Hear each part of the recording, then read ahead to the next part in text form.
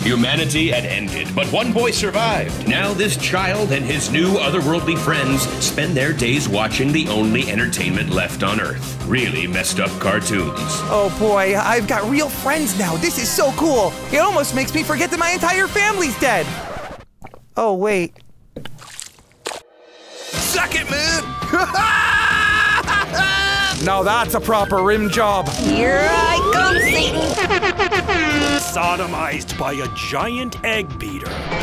Been there. Oh, baby! Oh, baby! Stick your hoof in my mouth! These cartoons are pretty screwed up. I remember one day when Mr. Coffee Pot killed a cow with his family on a picnic. Yeah, we murdered it good!